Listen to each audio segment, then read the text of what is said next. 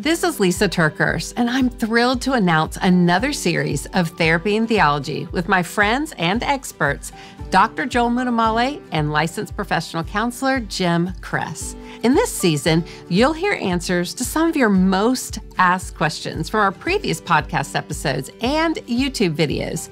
My team worked really hard to find what it is that you really want to know more about. I'd say this series will be incredibly helpful for you and what you're facing right now. In some of these episodes, we'll only cover one question. In others, the conversation will be more rapid fire style, and we'll get through multiple questions under one topic. Here's some of the questions we'll talk through How do I combat intrusive thoughts? What do I do with the anger I feel inside? As a Christian, how do I respond when my family is split politically? How do I talk about divorce with my kids? Are generational curses real? And how do I find a trusted counselor?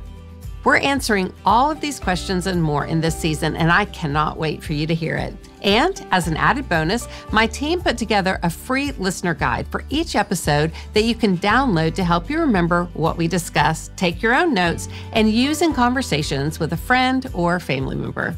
I'm so thankful you're part of Therapy and Theology. This community is really special. I'm praying this season will be a go to resource for you time and time again.